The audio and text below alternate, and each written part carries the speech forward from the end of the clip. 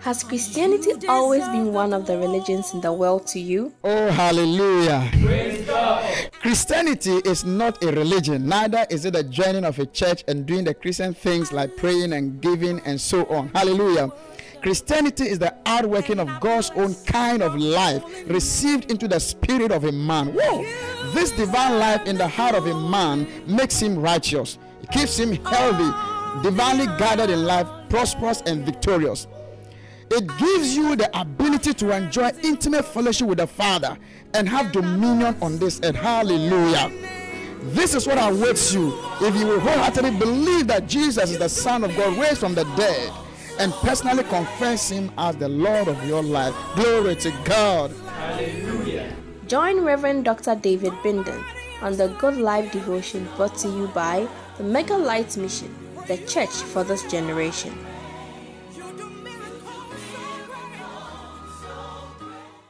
Praise the Lord. Hallelujah. It's a joy once again to carry your way on your favorite Good Life devotion. Of course, this is your center for biblically authoritative teachings.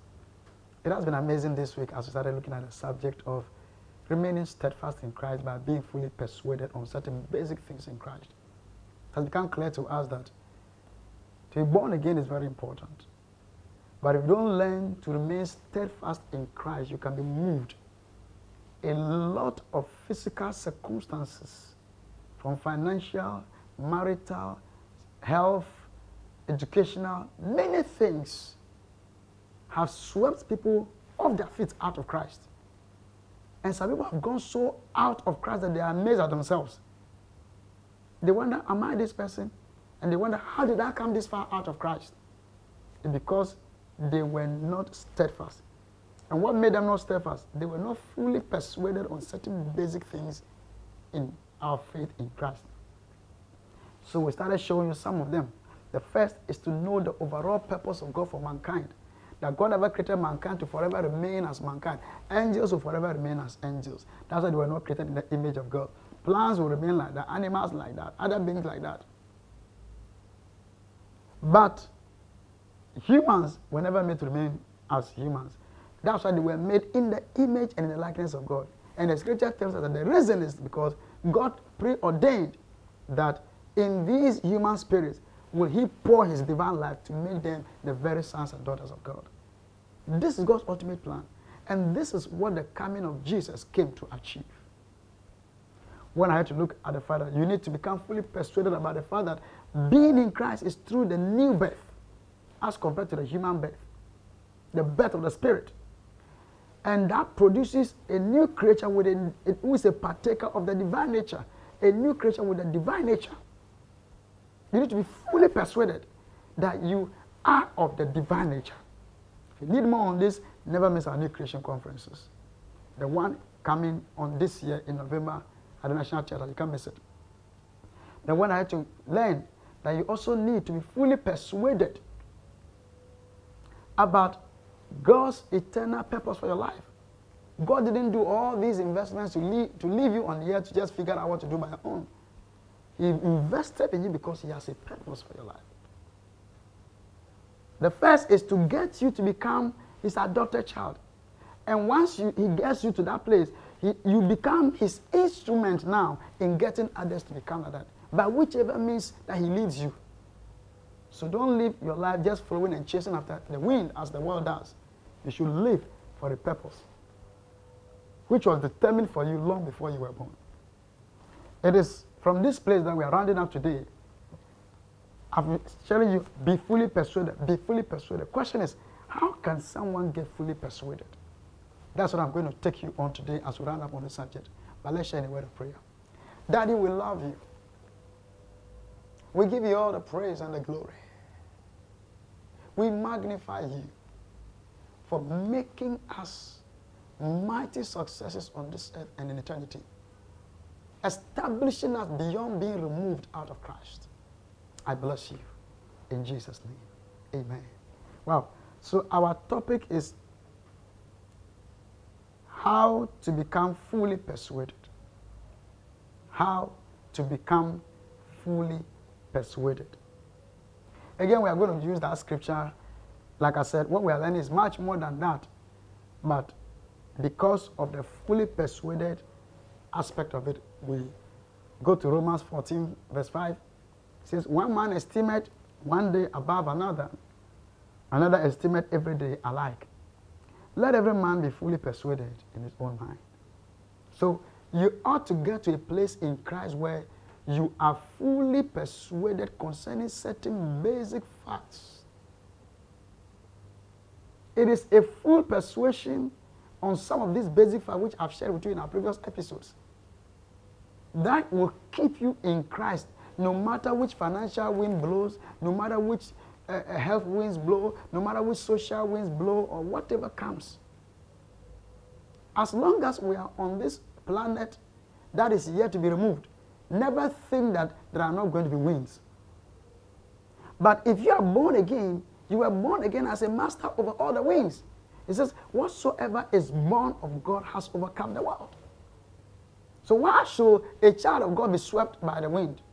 It says, If you fail in the day of adversity, it means your strength is small. In other words, the adversity shouldn't have made you fail. But you were not well rooted. You were not strengthened. You were not firm. But these words I'm sharing with you are making you firm. They are making you strengthened. They are making you established. You will never be moved out of Christ. Glory to God. Hallelujah. So, how can you become fully persuaded? For instance, you want to become fully persuaded about God's eternal plan. How can you? You want to become fully persuaded about your divine help. How can you? You want to become fully persuaded about your purpose. How can you? Because people kind of have some level of belief. But it is when things hit them hard, beyond what they ever imagined, then they begin to shake and they lose everything. So they thought they believed until circumstances revealed their true nature. Like I said, maybe a young person who grew up, got born again early, was so passionate for Christ, was preaching to his colleagues. They even called him pastor. He grew up. Then maybe terrible things started happening around him. Parents died, things happened. Maybe didn't get a job that he expected, couldn't get educated as he thought. Everything seemed to be hitting hard at him. And to understand that even what to eat becomes a challenge. Then he starts contemplating where is the love of God? Why did God treat me this, one, this much? He started joining Sakawa and all that. But earlier in his life, he thought he believed. But was he really convinced that God is his father?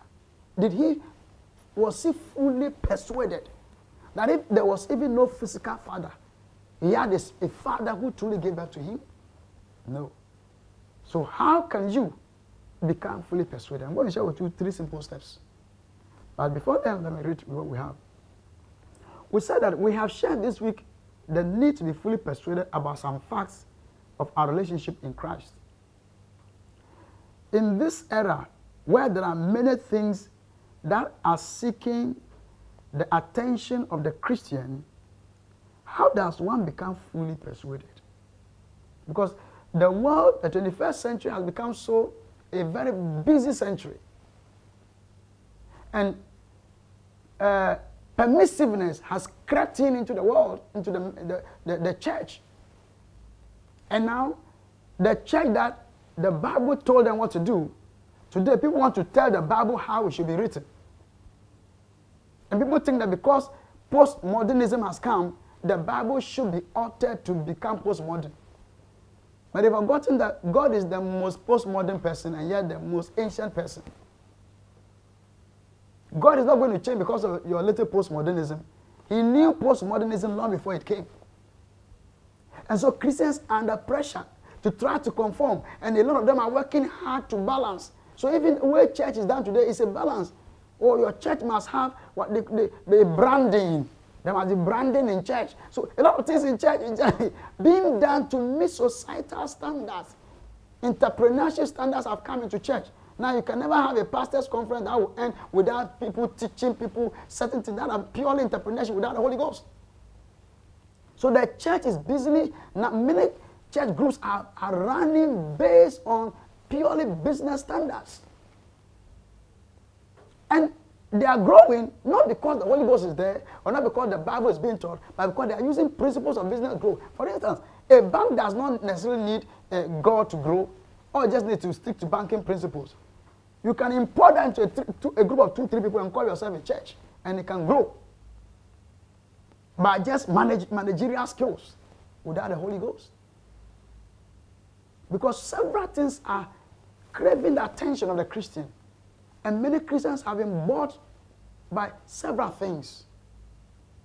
In the midst of all these competitions, how can one be fully persuaded to the extent that nothing moves him? How can you use social media and not be misled by social media? Very powerful tool. But a lot of Christians have become impure in their thoughts. A lot of Christians have imported a lot of fear into them by just what they read and see and watch on social media. How can you remain still fully persuaded? Today, a lot of young people are finding it very difficult to just maintain the purity of mind and heart. Why? Because of social media. And not even only social, now even the digital, the static media, everything. Education, everything. And now education is becoming even the way people want. Sometimes I hear that some schools that it's the students who decide how the, the school should run. You can't even correct a child and the teacher will be punished. then who is teaching who? The society is becoming totally demonic without systems, without principles. But in the midst of this, the sons of God, Bible said that in a crooked and perverse world, we are to shine as lights. That means that God knows that no matter what happens, we, the sons of God, we will stand as light and maintain the standard. But this will only happen when the sons of God become fully persuaded. How can a young guy be in a senior high among friends who are corrupt and choose to remain true? I remember in cases when people had to buy examination papers and everybody is looking for a point here and there. How can a student remain focused on his studies and not be looking for these things? You need to be fully persuaded. In a world where immorality is just everywhere you turn left and right, from people's dressing to billboards to television screens to phone screens, everywhere. How do you keep your mind and your heart sanctified? By becoming fully persuaded. In a generation where biblical principles are no more the standard, there are people in the name of Christian going about preaching that uh, if you're a young man and you don't know a lady and you marry, you've not explored enough. And Christians are busy attending such conferences. When their own Bible tells them that whether in marriage or not in marriage, God will judge whoremongers. How do you maintain the standards? When all your friends make you look like you are the only one that is not having fun. You know, you are not showing fun. You are not in, you are not in the class. But in the midst of all this, by the Holy Ghost, the sons and daughters of God are standing. How do we do that? By full persuasion. I'm going to share with you three simple steps how you can become fully persuaded in some of these things. Number one is do a personal assessment. Do a personal assessment of yourself. The reason why many people are swept off their feet is that they never know who they really are themselves. And if you don't know who you are yourself, then who can know who you are except God? 2 Corinthians 13 5 says that. It says, Examine yourselves whether ye be in the faith. Prove your own selves. Know ye not your own selves. How that Jesus Christ is in you, except ye be reprobates. It says, Examine yourselves whether ye be in the faith. Prove your own selves. As a child of God, you need to really know who you are. Examine yourself. Ask yourself some basic questions. That's the first step of full persuasion. Because if you don't pin yourself to the corner, you wouldn't really know whether you really believed or not. And I'm telling you things from scripture and from personal experience. There are sometimes that I thought I believed something. And when I began asking myself hard questions in that area, I realized mm, I didn't really believe. So I have to now go and study again. For instance, there were times in my life I thought, oh, I thought I knew much about divine health until a sickness struck. And I thought I thought I was struggling with it. I said, ah, no. Then I re-examine my belief in divine health. Then I go and study. It kept on until stability. So if you don't examine yourself, you might be deceived into thinking you are standing. Some Christians never think they could lie until when situation they are caught in the trap. Then they are now their words are shaky. You don't know what they are saying.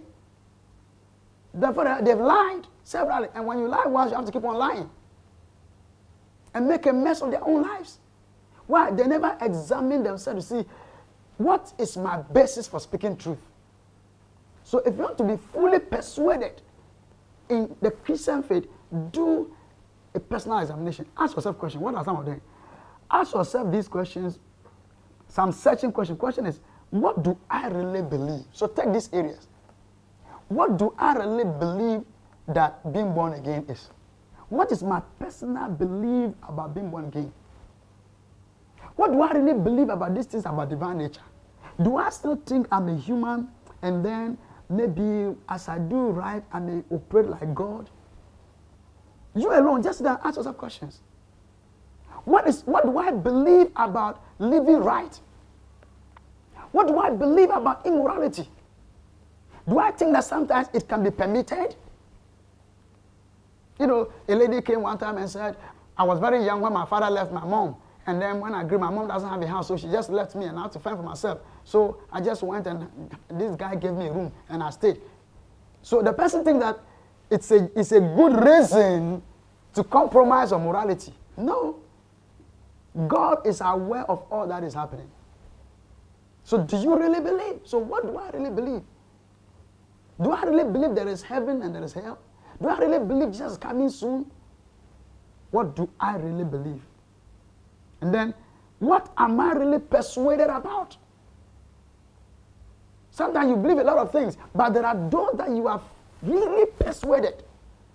To be persuaded means that you have believed the thing to the extent that there's nothing that can change your mind. You cannot doubt it. Ask yourself these questions. Then you can ask yourself, to what extent have I been fully persuaded about the fact that I am God since I became born again? Do I really think I'm a new creature? Am I fully convinced? Am I persuaded?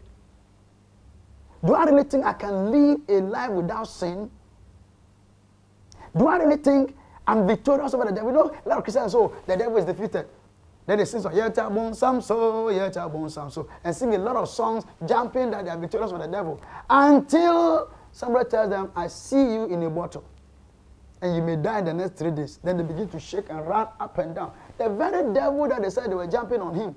Did they really believe that being in Christ, they are masters of the devil? You see? So you need to ask yourself. That's the first step to becoming fully persuaded. Examine yourself. Then number two is when you realize that in an area you're not fully persuaded, what do you do? Build your conviction by hearing more of God's word in that area. Hear more of God's word. And when I mean God's word, today there are many things that people carry about calling God's word, which is not God's word. You need to get the truth. That something is having a few scriptures in it doesn't mean it's God. I've seen a lot of books in Christian shops. You won't see one scripture, but the senses are all Christianized. Sometimes they'll throw one scripture here, and then the whole thing is just senses. And you get, oh, it's a powerful book on how to say, yes, I do. And everything is just physical experiences, nothing scriptural. Powerful book. Even on healing or Holy Spirit or something, and there's nothing real biblical about it. So you need to actually even know what to. So you go to the Bible. And that is why we keep on saying that a trusted source of teaching like this should not be kept to you. People need it to know the truth. So hear more of God's word. Romans 10 17. It says, faith cometh by hearing. Faith simply means conviction in the evidence of God's word. So the more you hear, that's why if you're at a place where they don't teach the truth, what are you hearing? If you're at a place where they say the devil can bind you, you will be bound Because what you hear can never generate conviction in you enough to stand against the devil. If you're at a place where sicknesses are permitted, you will definitely be one of them.